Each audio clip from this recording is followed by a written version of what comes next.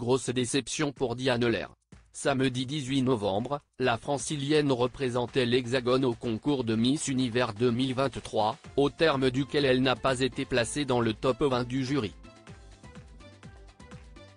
Pourtant, la reine de beauté française faisait partie des favorites de cette année. C'est finalement la candidate nicaraguayenne Chéni Palacios qui a remporté la couronne tant convoitée.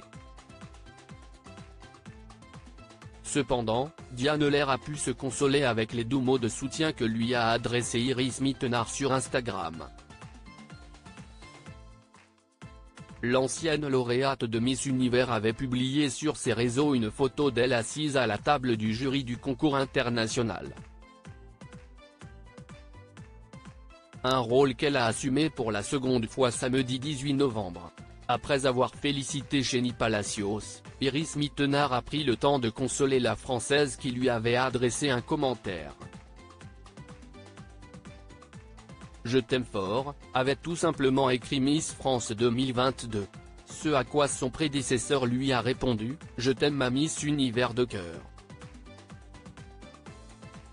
Un message qui a, sans nul doute, su remonter le moral de la francilienne, après ce classement décevant au concours.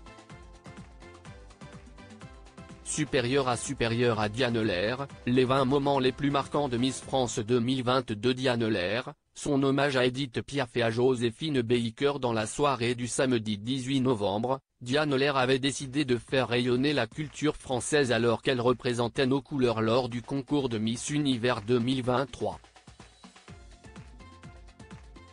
Pour le costume national, l'ancienne missile de France avait misé sur une tenue de cabaret, inspirée tant par le Moulin Rouge, que par les Folies Bergères ou encore le Paradis Latin. Dans une tenue composée de strass argenté et de froufrou rose, elle rendait tant hommage à Joséphine Baker par son attitude qu'à Edith Piaf par son choix de chanson. Un véritable hymne à la France. Article écrit en collaboration avec 6 médias Crédit Photo, Denis Guignebourg.